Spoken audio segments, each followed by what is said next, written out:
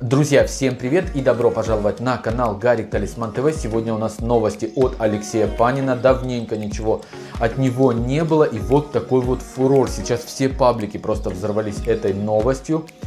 Сразу от себя хочу сказать, что я считаю, что это правда, потому что, ну вот, чего-чего, но Алексею не отнимать его искренности. И что бы кто ни говорил, может, да, он чрезмерно как-то открыт, Э, но вот хайпиться и пиариться на таких вот темах, я думаю, это не его конек. Обычно он что-то делает, то, что ему хочется, то, что ну как-то у него от души, и уже хайп и какие-то скандалы идут за ним. И вот сегодня появилась новость о том, что Алексей Панин рассказал о домогательствах со стороны Андрея Харитонова. Актер признался, что когда ему было 18 лет, к нему приставал Э, приставал коллега по фильму, но в силу юного возраста Алексей тогда не понял, что вообще там происходит.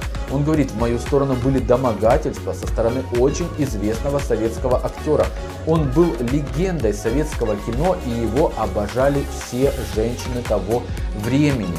Это был Андрей Харитонов еще раз повторил Гордону Алексей Панин. Это большое интервью мы оставляем в закрепленном комментарии.